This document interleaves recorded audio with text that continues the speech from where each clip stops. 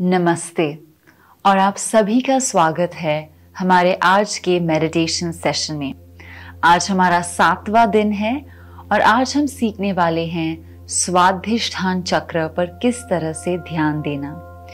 तो आइए इस मेडिटेशन सेशन का शुरुआत करते हैं।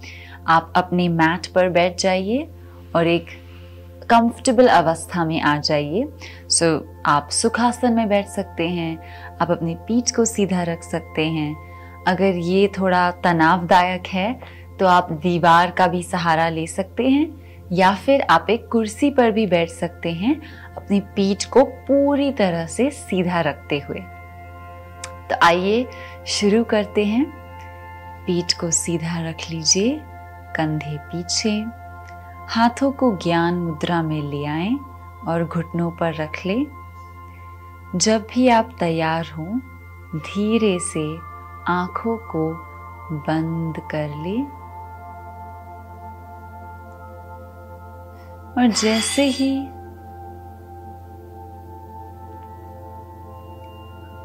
और जैसे ही आपकी आँखें बंद हो जाएँ, सारा ध्यान आपके श्वास प्रश्वास पर ले आइए। किस तरह से आप सांस ले रहे हैं और हल्के से छोड़ रहे हैं।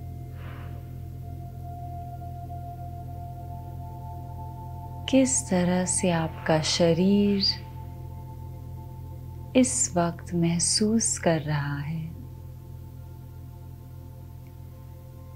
बस कुछ पलों के लिए अपने अंदर की दुनिया से वाकिफ हो लें।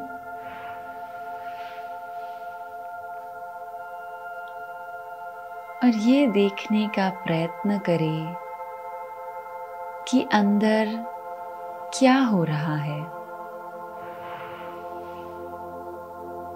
क्या हमारे शरीर में कहीं भी तनाव है? क्या हम खुशहाल महसूस कर रहे हैं? और क्या हमारा मन शांत है? आपको कैसा लग रहा है इस पल में? उस पर ध्यान दें।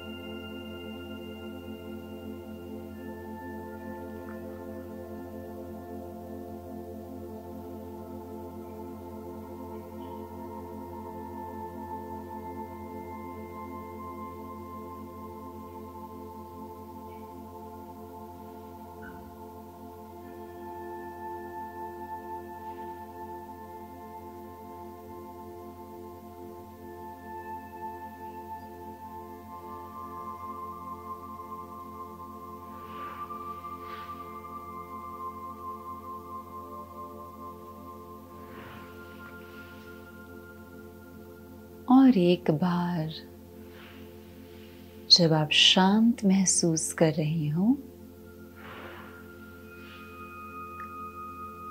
तो आइए हमारा सारा ध्यान हम अपने स्वाधिष्ठान चक्र पर ले जाएँ। ये चक्र हमारे नाभि के एक या दो इंच नीचे स्थित है तो सबसे पहले इसे ढूँढने के लिए हम अपना ध्यान नाभि की ओर ले जाएँगे। वहाँ कैसा महसूस हो रहा है, उस पर कुछ वक्त ध्यान देंगे और फिर ध्यान को थोड़ा सा नीचे ले जाते हुए स्वाधिष्ठान चक्र को महसूस करने की कोशिश करेंगे।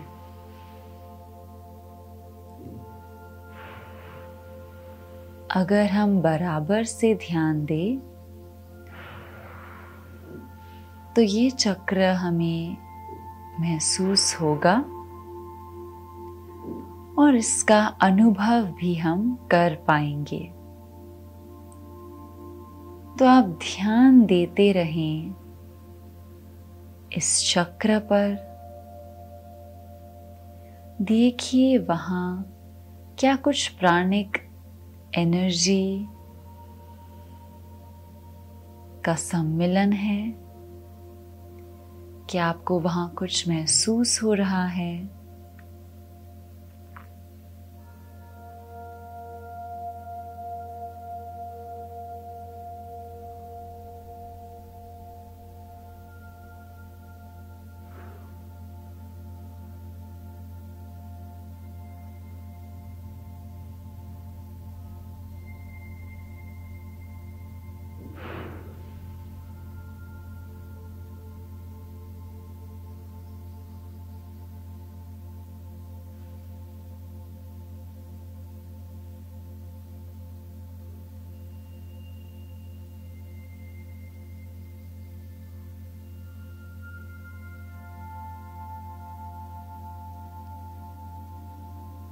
और जैसे जैसे आप स्वाधिष्ठान चक्र को महसूस करने लगते हैं तो वहाँ एक ऑरेंज एक ऑरेंज रंग की रोशनी को ले आए, जो संतरे का रंग होता है, उसे हम इमेजिन करें इस चक्र पर। एक बढ़िया रोशनी की तरह। और जब ये रोशनी प्रज्वलित हो जाए तो हम ध्यान दे सकते हैं कि किस तरह ये चक्र काम कर रहा है। और इस चक्र का बीज मंत्र, जो कि वम है, इस पर भी हम ध्यान देंगे। एक बार जब आपने उस संतरे या ऑरेंज कलर के रोशनी को वहाँ देख लिया है अपने मन की आँख से तो अब अपने मन में आप वम का उच्चार करेंगे। वम इस तरह बोला जाता है। वम।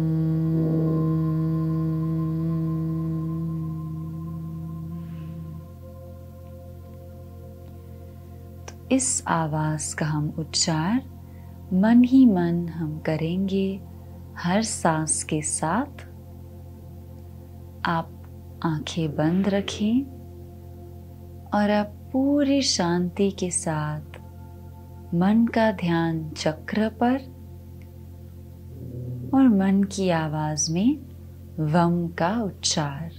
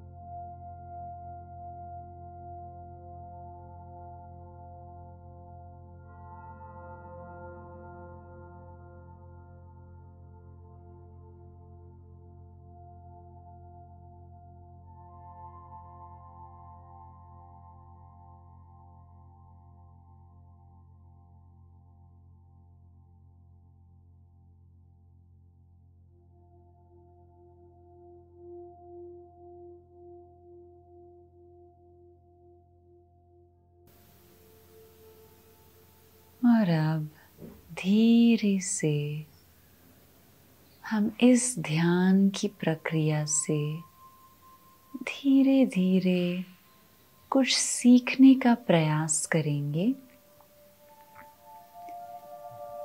हमारा स्वाधिष्ठान चक्र हमें अपने आप के बारे में क्या सिखाता है? स्वाध्याय किस तरह से हम कर सकते हैं? और किस तरह से हम खुद ही स्व स्वरूप इस स्वाधिष्ठान चक्र में बैठे हैं? और जैसे जैसे ये चक्र बैलेंस होता जाता है और ठीक से काम करने लगता है। तब हमारी ज़िंदगी में भी उसका परिणाम दिखाई देता है। हम क्रिएटिव बन जाते हैं, ज़्यादा सिक्योर बन जाते हैं। हम अपने काम पर बेहतरीन तरीके से ध्यान लगा सकते हैं। तो इस चक्र के कई फ़ायदे हैं। और हम इसे समझने की कोशिश करें।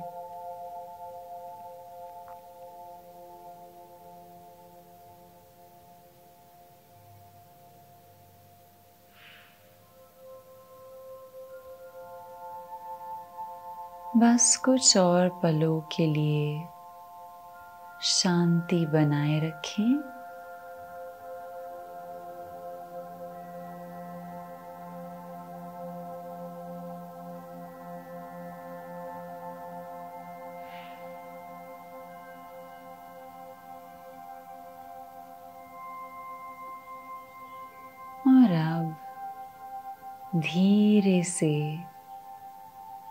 सारा ध्यान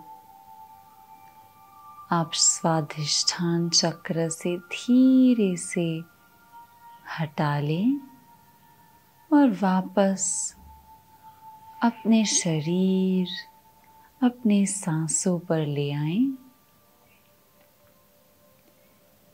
स्वाधिष्ठान पर ध्यान को समाप्त करते हुए वापस ऊपर की ओर बढ़ें और जैसे जैसे आप वापस आ जाएँ,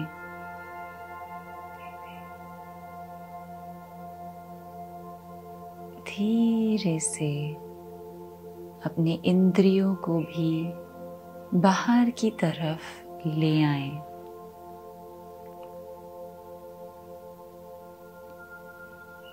आज हमने स्वाधिष्ठान चक्र पर थोड़ा सा ध्यान दिया।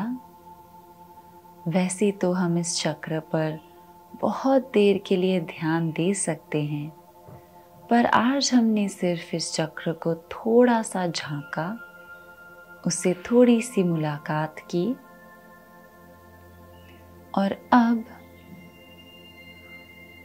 हम धीरे से इस ध्यान को और स्वाधिष्ठान चक्र के प्रक्रिया को समाप्त करते हुए वापस आएँगे। तो धीरे से आप अपने हाथों को नमस्ते में ले आइए, अपनी छाती के सामने। सीधे बैठिए और अब हम एक ओम का उच्चार करेंगे। तीन शांति के साथ। तो आइए गहरी सांस अंदर लेते हैं। शांति